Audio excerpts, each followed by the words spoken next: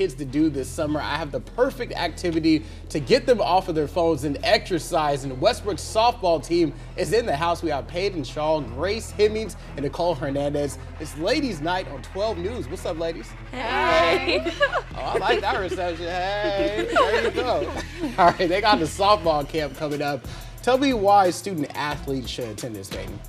I feel like student athletes should attend because it's not just only about teamwork and bonding, it's more. They should attend this camp because we learn a lot of stuff physically but also mentally. All right, bring it home, Nicole. Um, it's just the basic fundamentals of softball. That's where it all starts. So, yeah, I agree with these two. Now, I saw there was a couple of ways that you could be sent home. Your attitude, it's all about your attitude. You have to keep a great mindset.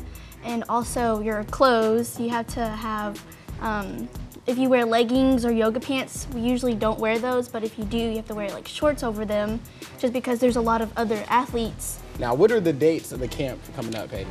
They're gonna be Monday through Thursday, about an hour or so, and then almost all summer long. Describe the color yellow to somebody blind. It's simple and warm and breezy, yet enlightening. Yellow is simple.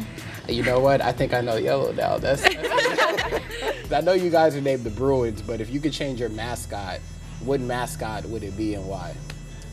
Um, well, I just said a warthog because I just think that'd be funny.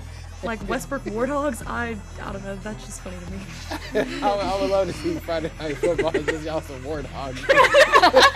What's something about you that the community doesn't know about? Um, well, also box, All right, so time out. You, you box like yeah, like MMA, UFC kind of stuff. with, without knocking me out. Can you just give me a quick combo? I'm gonna hold on. do like a little quick combo. Or So you do one, two, oh, Okay. you're good. All right. that could have got real bad. Yeah. I gotta host the rest of the show.